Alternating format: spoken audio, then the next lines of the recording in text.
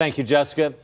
In just a few hours, Governor Abbott's going to be at the border welcoming soldiers to a new military base camp. So that area is expected to house 1,800 Texas National Guard troops as part of Operation Lone Star.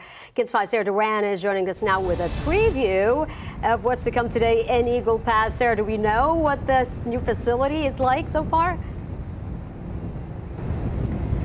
Yeah, Sarah. So construction on this facility just started earlier this year and it's still currently underway on an 80 acre lot along the Rio Grande River. Now they are moving very fast on this.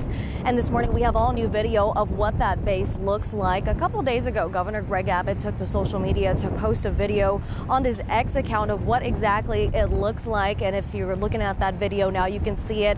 The base camp is called Forward Operating Base and it's close to completion, Sarah.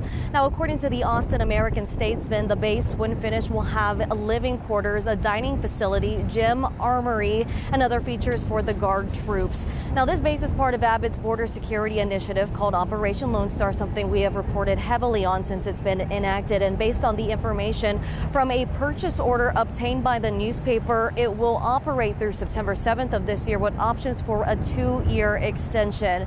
Now, with the first phase mostly complete, 300 soldiers, we are told, will be moving in today. And at this point, it's unclear how much has been spent to work on this project. Now, again, as far as what's happening today, let's go ahead and talk about that. The governor is set to take a tour of this facility later this morning, about 10 to 11 o'clock. We will have a reporter there. And of course, we will keep you updated on what we learn. Reporting live this morning, Sarah Duran, KENS 5.